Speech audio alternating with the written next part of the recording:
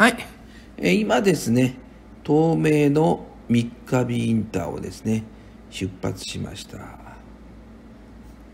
今回はですね、静岡県浜松市北区三日日町佐久目にね、いますね。今からですね、浜名湖レイクサイドウェイというのにね、行ってきたいと思います。まあ、この辺からそうですね。この道ね、1968年からね、4月から開通された道ですね。当時はですね、まあ、有料ですね。どれぐらいの金額だったかっていうとですね、四輪車がですね、150円ですね。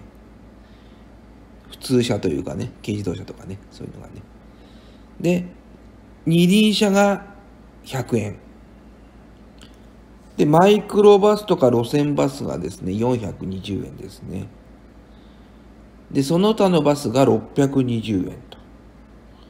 で、大型貨物のトラックがですね、えーもう620円かな。ねえーそんなようなね、道になっております。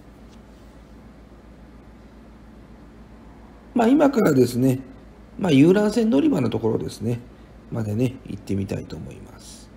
まあ非常にね、こう、景色のいいね、まあそんなにカーブがないんでね、まあ初心者向けというか、なんか、なんで、昔有料道路だった道ですんでね、まあ景色がいいというかね、意外とこう、なんで私もこの無料化される前まではよく浜名湖のねこの奥浜名湖来たんですけどもこの道有料の時通ったことないですね。なのであんまり記憶にないなと思ったらね、えー有料化でだったもんでね、えーわざわざその下道を通ったんでしょうねきっとね、まあ、このところでねそんなお金を払いたくないなと。5キロぐらいなもんですんでね。まあこうね、非常にこう景色のいいね、まあ観光道路というんでしょうかね。で、まあね、三日日インターのところからね、えー湖西市の横山というところまでね、この道は続いてますね。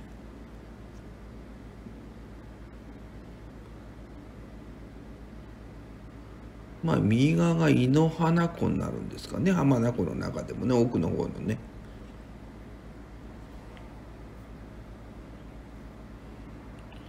まあ、2007年の4月1日から無料開放になったそうですね。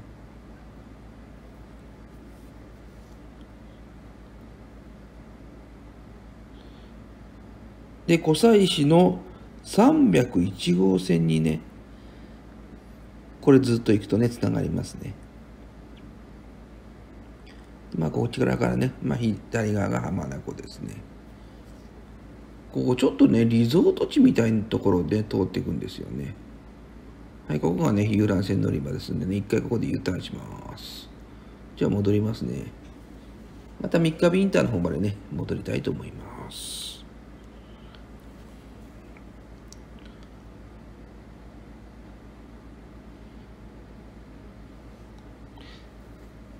まあ、三日日インターの手前の先ほどのね、信号のところは、国道の362号線ですね。そこを過ぎると三日日インターになりますんでね。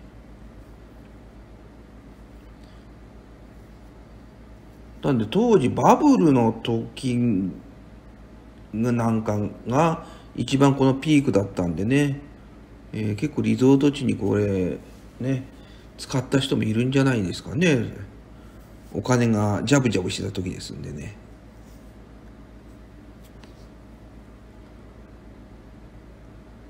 まあバイパスするってことですね三日日の方からね。まあ斜めに横切ってますねこの浜名湖をね。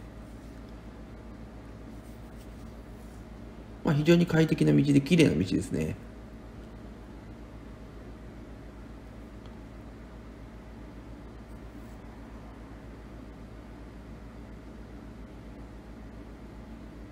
まあカーブといってもねカーブがないんですよね。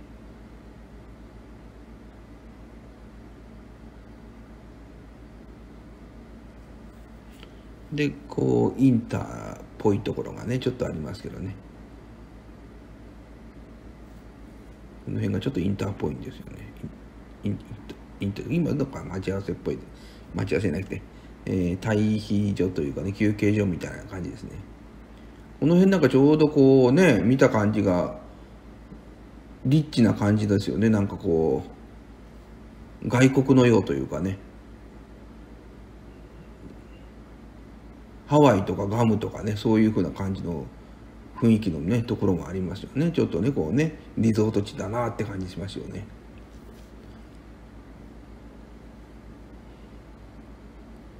まあなんで山道をね走りたいなって方はちょっと向いてないですけどもちょっとこうね例えばアメリカンなんかでね直線でね、えー、をちょっとこう流したいよっていう人にはいいんじゃないですかね。女性の方なんかねまあ身長の都合でアメリカンなんかね選ぶ場合も多いと思いますんでね。非常にこう景色のいい道だと思いますんでね。その辺ねちょっとおすすめします。まああと浜名湖一周とかね。そういうプランもあると思いますね。ここの道を使ってね。まあ以前有料だったところが無料っていうのがねちょっとお得感があるんじゃないですか。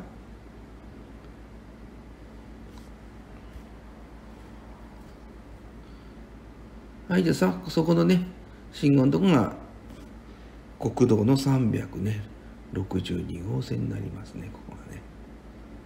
なのでここから入ることもできますね。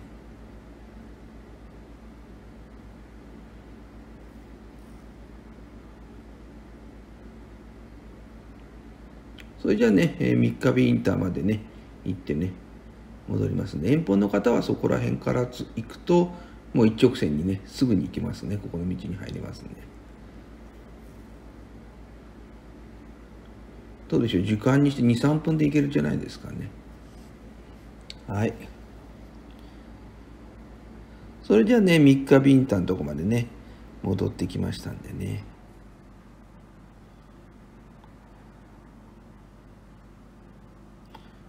まあちなみにそこを右に曲がるとねこの間ご紹介した奥浜名湖オレンジロードという峠道もありますんでね、もしよかったらご利用ください。